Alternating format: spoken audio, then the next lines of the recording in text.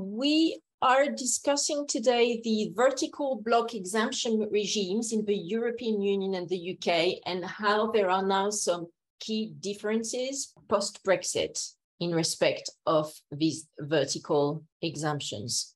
After a one year transitional period for commercial agreements concluded before the 1st of June 2022, to be brought in line with the new vertical block exemption regimes applicable in the European Union and the United Kingdom, it is time to take stock.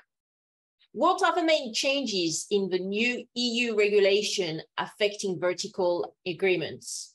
How do the UK order on vertical block exemption differs from the new EU framework? What can we expect in the near to medium term future in terms of enforcement of these regimes on national and pan-European commercial agreements and distribution networks. What are the best options for cross-border businesses now that two vertical block exemption regimes exist side by side in the EU and the UK? So let's first have a look at the vertical block exemption regimes. What are the legal frameworks in the EU and the UK? Well, vertical agreements are a common feature of the economy. They are agreements between businesses operating at different levels of a production and distribution chain. For example, distribution agreements between manufacturers and wholesalers or retailers. Since the 1st of May 2004, in the member states of the European Union, companies have been required to self-assess whether they vertical agreements comply with competition law, superseding the prior negative clearance regime. In a self-assessment context, a block exemption is valuable, providing a safe harbor for businesses which allows them to proceed with confidence, provided that the agreement respects stipulated thresholds and features. Up until 31st of May 2022, a single self-assessment exercise would have covered compliance with competition law in the EU and the UK. However, since Brexit, the EU and UK legal frameworks on vertical agreements have, have diverged. Let's have a look at how there's a divergence now. So the EU legal framework is based on Article 101 of the Treaty on the Functioning of the European Union. It's quite mouthful. Treaty on the Functioning of the European Union, so TFEU. And Article 101 prohibits agreements between companies and any concerted practice susceptible to affect trade between EU member states and which object or effect is to limit or alter the competition game inside the common market. However, Article 101, paragraph 3 of the TFEU provides for various exemptions to such prohibitions set out in Article 101, paragraph 1. In particular, in relation to categories of vertical agreements and concerted practices. So that means that the principle is that there is a general prohibition of agreements which restrict trade. However, there is an exception set out in paragraph three of Article 101 of the TFEU, which provides that provided that certain conditions are, are met, vertical agreements and concerted practices are okay, are exempted for, from this general prohibition. Via various EU regulations updated on a regular basis every 12 years, the EU has empowered the European Commission to adopt block exemption regulations relating to vertical agreements, thereby gradually constructing its legal framework concerning the application of Article 101, paragraph 3, to categories of vertical agreements and concerted practices as follows. So the first regulation was Regulation 2790 from December uh, 99. So that was the first one. Then it expired on the 31st of May 2010, and it was replaced by Regulation 3310 from the 20th of April 2010, which all expired on the 31st of May 2022. And now there's the third, number three, third iteration of this regulation, which is regulation 33 2022 slash 720, okay, from the 10th of May 2022 on the application of Article 101, 101, paragraph 3 to categories of vertical agreements and concerted practices. So from now on, we're going to call this current regulation, regulation 2022 uh, 720 um, which came in effect on the 1st of June 2022. So those EU vertical block exemption regulations are complemented with guidelines on vertical restraints, setting out the principles for the assessment of vertical agreements under Article 101 of the TFEU so the guidelines. And the latest and current are the guidelines on vertical restraints 2022 C248. So just to let you know, all these documents and regulations and guidelines that I'm citing, they can be viewed on our website, crefovi.com and crefovi.fr in our latest thought leadership article that we've um, published yesterday in English on crefovi.com and in French on crefovi.fr. So you are welcome to check this out on the publication section of our websites, and you will be able to, to see all these, all these documents for yourselves. So the gist of the EU regulations and guidelines is that the block exemptions provide widely applicable safe harbors for vertical agreements from the EU prohibitions and anti-competitive agreements, provided the parties have market shares of less than 30% of their respective markets, and that the agreements do, do not contain any hardcore restrictions of competition, such as, for example, resale price maintenance. If an agreement does not benefit from a block exemption, then this contract will need to be assessed individually for compliance with EU competition law. Thanks to these block exemptions, European companies can lawfully set up selective distribution networks or even exclusive distribution networks, depending on the needs of an appropriate strategy for their products and brands.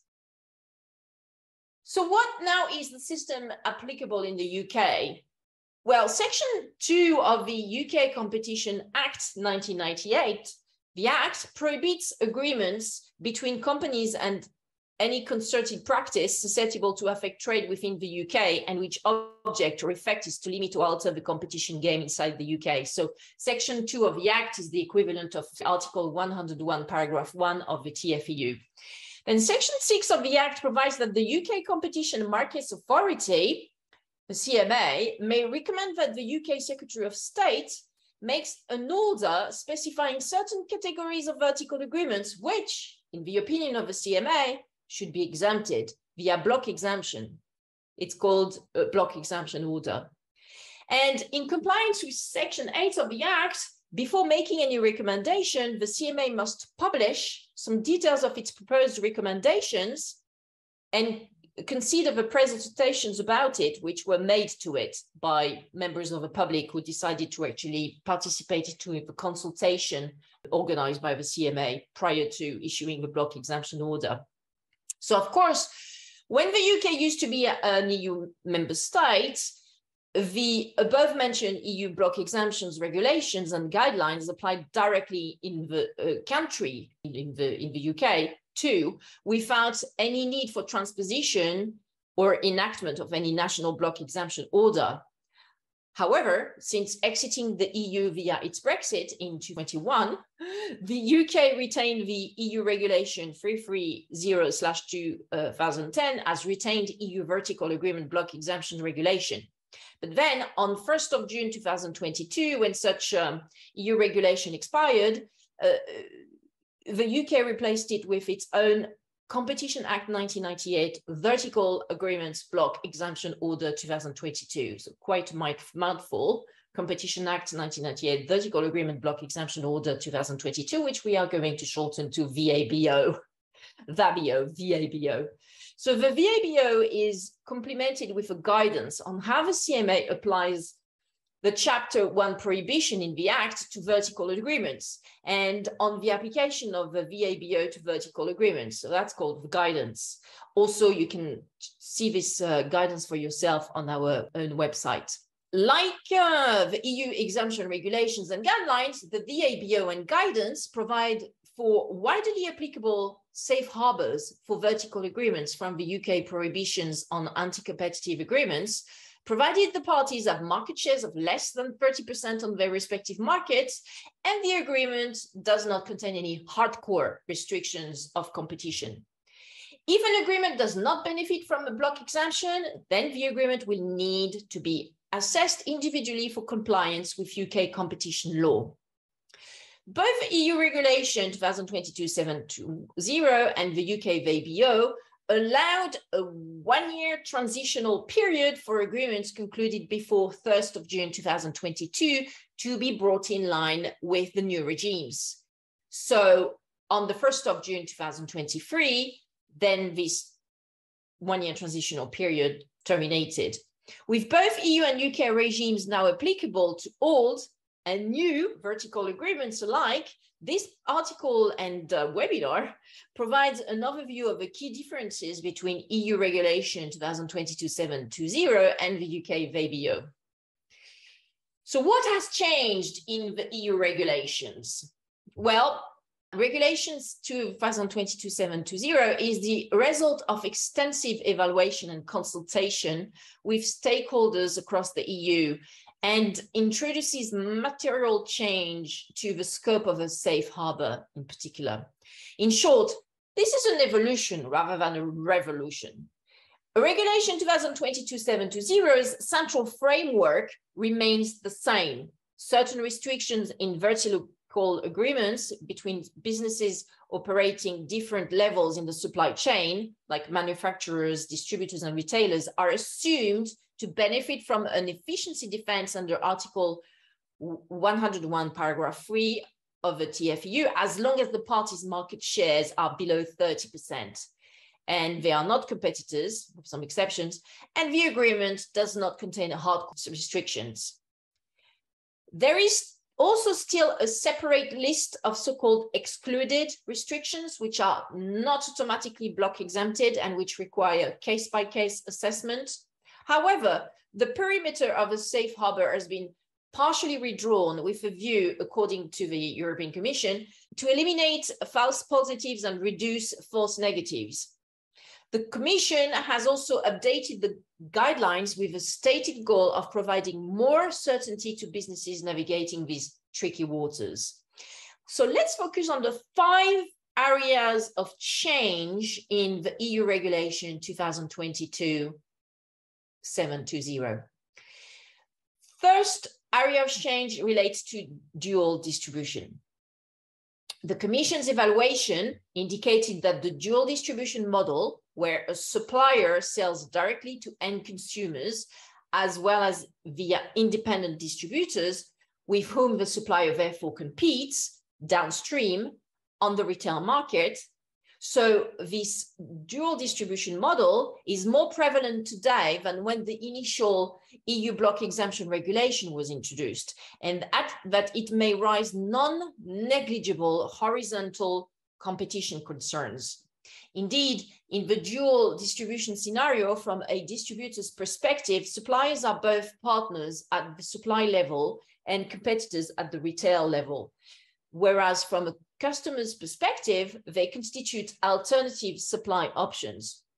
So due to this hybrid situation, dual distribution can potentially give rise to conflicts of interest and concerns of information sharing.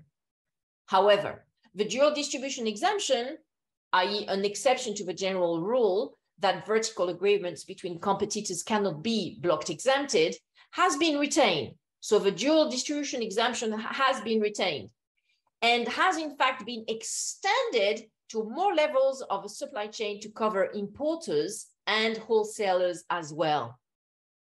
But two key changes relate to first information exchange and second hybrid platforms. So information exchange in a dual distribution context will now only be exempted where it is firstly, directly related to the implementation of the vertical agreement, and secondly, necessary to improve the production or distribution of the contract goods or services. Helpfully, the current guidelines provide examples of information exchange that are likely to be exempted, such as technical, logistical, or performance related information, and information which is likely to fall outside the exemption, such as information relating to future pricing, identified end users, and goods sold by a buyer under its own brand. The second change in relation to dual distribution is hybrid platforms. So providers of online intermediation services, such as online marketplaces like Amazon, offer goods and services in competition with other companies using their online platforms, and therefore also compete downstream for goods and services. So these hybrid platforms have been excluded from the dual distribution exemption on the basis that they may have an incentive to favor their own sales and the ability to influence the outcome of competition on those markets. So in summary, considerably more caution is required when it comes to dual distribution in the future, um, as the safe harbor was narrowed in EU regulation 2022-720 in respect of information exchange and hybrid platforms. The second a key area of change of EU regulation 2022-720 are parity obligations. Parity obligations require an undertaking to offer the same or better terms to its counterparty than those offered on third-party sales, marketing, and distribution channels. For example, on other platforms or direct distribution channels, such as the seller's own sales website. These parity obligations are also called most favored nation clauses. Previously, all type of most favored nation provisions were exempted. However, retail parity provisions relating to the conditions under which products are offered to end users have been subject to extensive enforcement action by a range of regulators in recent years. So these retail parity provisions are under the radar. So Article 51D of Regulation 2022-720 removes the exemption for cross-platforms or wide retail parity obligations. That means that where a company pledges to offer the same or better prices and conditions as um, on all other distribution channels. Um, and uh, so now these wide retail parity obligations have been added to the list of excluded restrictions. That means that they will under no circumstances fall under the safe harbor provided by regulation 2022-720 and they must therefore be thoroughly assessed individually under article 101 of the TFEU. Conversely, other types of parity obligations, including the so-called narrow parity provisions relating to conditions on direct sales channels and wholesale parity obligations, are still block exempted. However, a new Article 6 in this um, regulation 2022-720 warns that the benefit of the exemption may be withdrawn in certain circumstances and refers explicitly to the use of narrow retail parity provisions in concentrated platform markets where there is no evidence of efficiencies. So in summary, considerable more caution is required when it comes to parity obligations, most favored nations clauses in the future, as the safe harbor was narrowed in EU regulation 2022-720 in respect of these obligations. Now, third area of change in the EU regulation, online sales restrictions. While the previous EU exemption blocks regulation was drawn up at a time when e-commerce was thought to require special protection. The Commission's evaluation showed, unsurprisingly, that this is no longer the case. As a result, dual pricing, where suppliers can charge different wholesale prices to the same buyer, depending on the sales channel, is no longer a hardcore restriction subject to certain limiting principles. So online sales restrictions are no longer a hardcore restriction. Moreover, criteria imposed by suppliers for online offline sales in selective distribution systems no longer need to be equivalent provided the online sales criteria do not have the object of preventing the effective use of the internet. A new Article 4E codifies the development of a recent EU case law, in particular Pierre Fabre and Coty. So I refer you to our previous article on uh, selective distribution, which explains at, at, length those two case laws, Pierre Fabre and Coty. So this new article 4E of the EU regulation 2022-720 stipulates that restrictions on the use of the online channel will be hardcore where they have the object of preventing buyers or their customers from effectively using the internet to sell the goods or services, including restrictions preventing the use of one or more online advertising channels. Recital 15 clarifies that the restriction will be hardcore if its object is to significantly diminish the aggregate volume of online sales of the goods, services, or the possibility for consumers to buy them online. Further guidance is set out in the current guidelines for assessing online sales restrictions, so quality requirements, marketplace bans, online advertising restrictions, except for those relating to the most widely used providers, if they de facto ban the use of that advertising channel, and requirements to operate offline stores or make a, um, a min minimum absolute volume of sales offline will be block exempted. However, provisions amounting to a de facto prohibition of internet sales are excluded including requirements to only sell in physical stores, banning the use of a supplier's brand online, requiring a buyer to block a website access to customers outside the territory, or the use of um, foreign credit cards, or requiring a buyer to make a certain share of a total sales offline. Additionally, bans on price comparison websites and keyword bidding restrictions in search engine advertising are confirm to be hardcore restrictions as they prohibit the use of entire online ad advertising channels. And this codifies the Commission's decision on Guess. Again, you can find a reference to this case law on Guess on our articles uh, on crefovi.com and crefovi.fr. The safe harbor has therefore been extended with respect to online sales restrictions in Regulation 2022-720. Fourth area which has been changed under this new EU regulation on block exemption? Well, the scope of the block exemption has been broadened in respect of active sale restrictions, which limit a buyer's ability to proactively approach customers and generally constitute hardcore restrictions. So the Commission's evaluation found that these rules were unclear and hampered suppliers in designing their distribution systems. A new and more flexible concept of shared exclusivity has been introduced. A supplier can now appoint a maximum of five distributors per exclusive territory, five distributors, or customer group. Moreover, suppliers can oblige distributors to pass on restrictions of active sales to their immediate customers, which was not previously possible.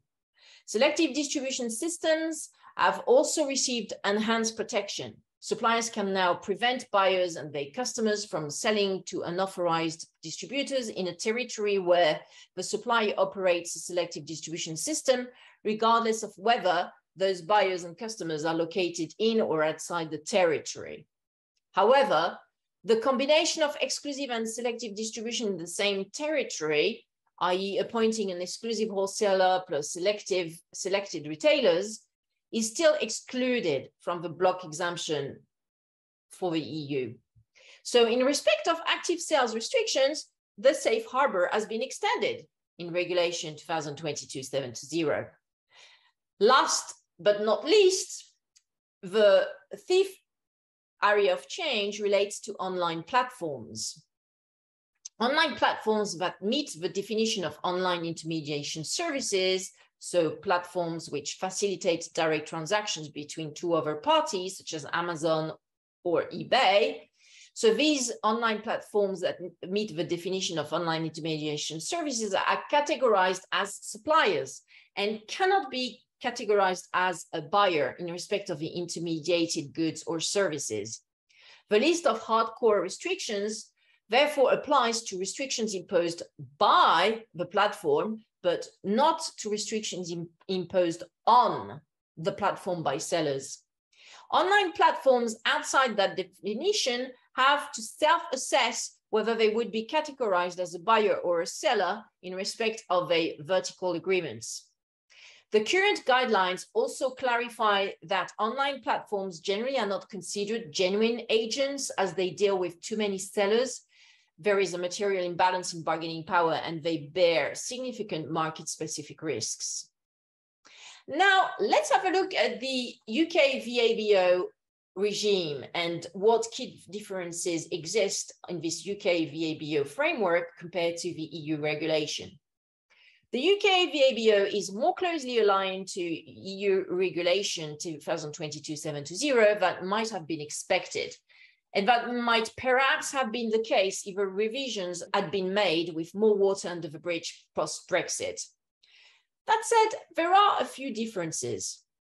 The first one relates to dual distribution. The UK VABEO has a more lenient approach to dual distribution.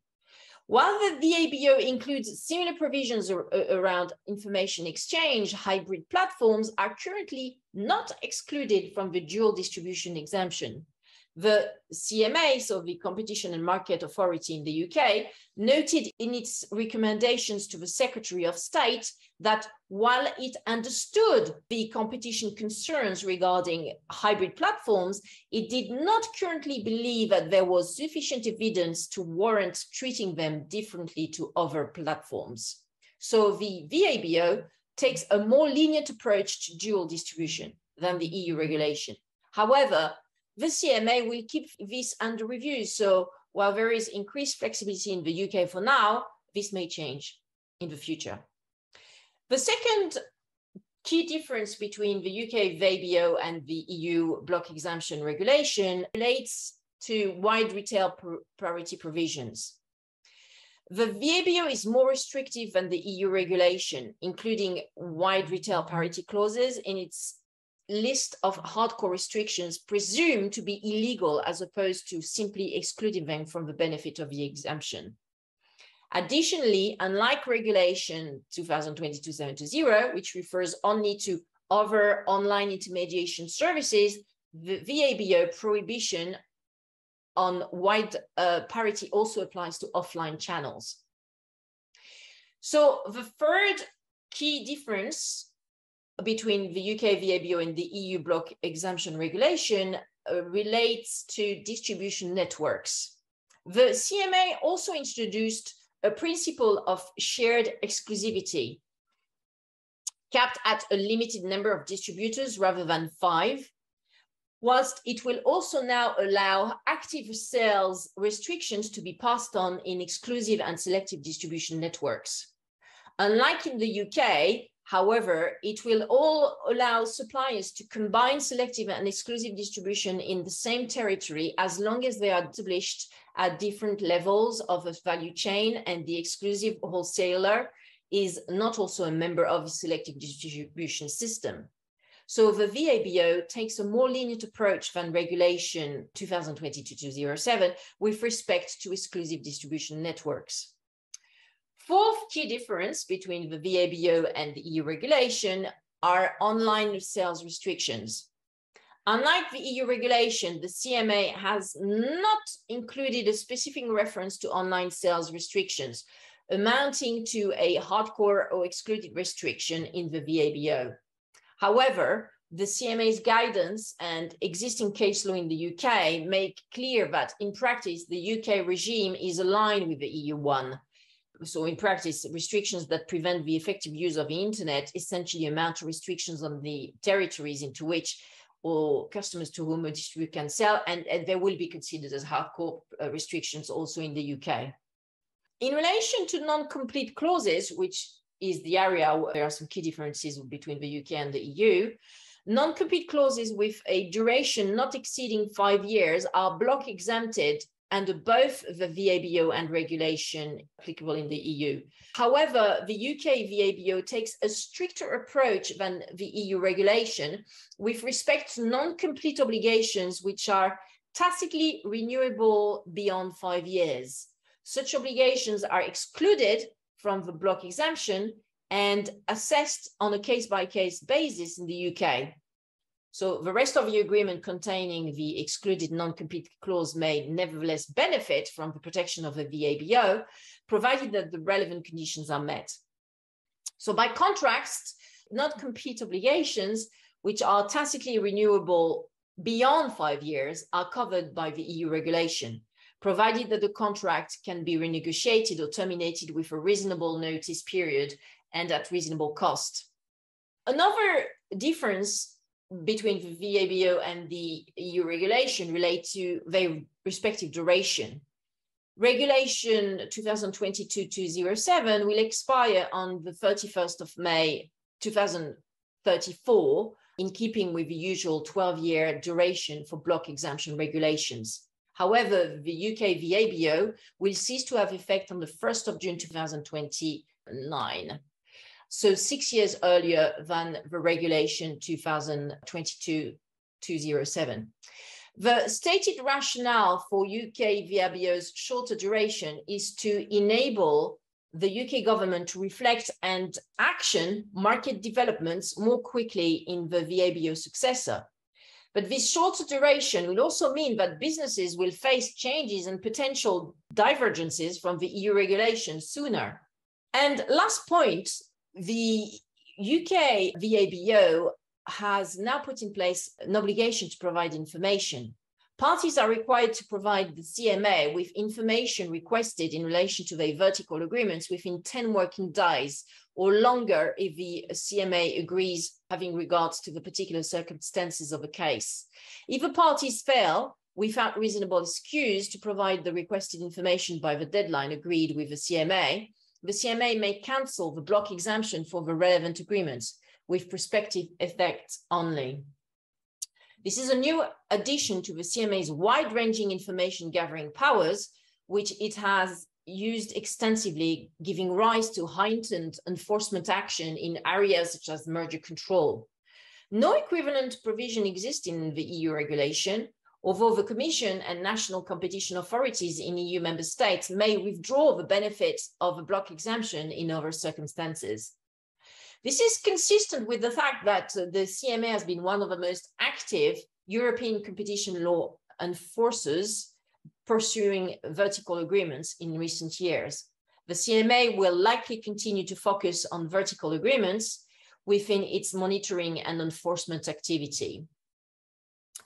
To conclude, while the EU and UK block exemption regimes are broadly aligned, there are some material divergences.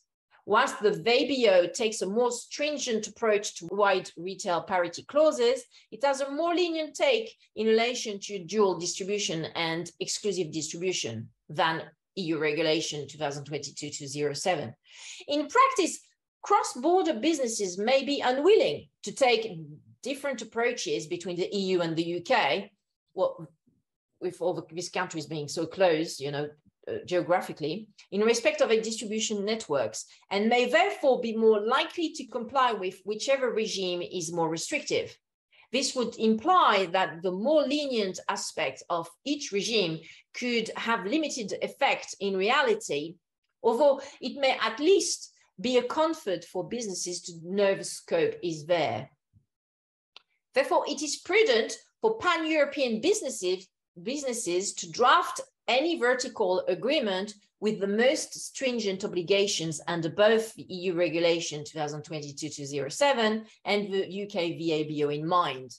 If they have not done so already during the one-year transition period, businesses with EU and or UK distribution operations must review the agreements in light of their new obligations under the EU regulation and the UK VABEO. This is all for me today. Thank you so much, guys, for attending. And I look forward to seeing you very soon in the near future. Bye for now.